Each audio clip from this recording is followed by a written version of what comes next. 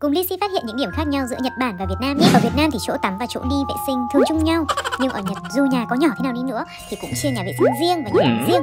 Việt Nam thì mình có thể qua đường gần như bất cứ chỗ nào, nhưng ở Nhật người ta chỉ qua đường ở những nơi có vạch kẻ thôi. Ở Việt Nam ngày nào mình cũng được đổ rác đúng không? Nhưng ở Nhật thì không đơn giản thế, người ta có lịch đổ rác mỗi tuần.